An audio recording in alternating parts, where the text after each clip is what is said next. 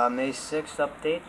Uh, I got some paperwork to do, uh, make some appointments with my doctors, post surgery follow ups just to make sure everything's healing right and on schedule for surgery in six weeks. Uh, I also got a bus pass I got to push out a couple more weeks due to these complications, but as far as that goes, pretty relaxing day.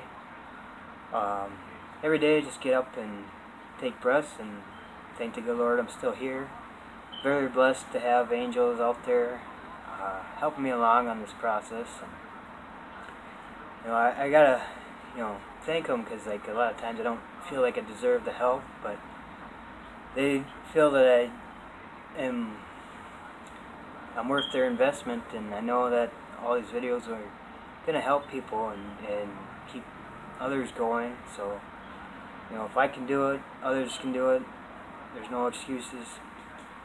Um, very lucky that things are going as smooth as they can.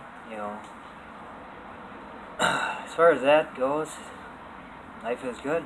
Um, keep you guys posted and update as the time continues, and uh, we keep fighting for a good cause. So, thanks to everybody that's watching my videos and spreading them and making sure that we're all just doing the best we can. I mean, there's not much more there is to do. Um, one thing, my teeth, they lie about me. Um, keep getting offered drugs, and it's like, no, I'm good. I don't do drugs. I like my Mountain Dew, but teeth, it's on the list. They get fixed. They tell lies that say that whatever I'm into, but I'm not. I like my pop, but just crazy out here, you know. Uh, as far as that, we're doing good. Um, take care, everybody, and keep you posted.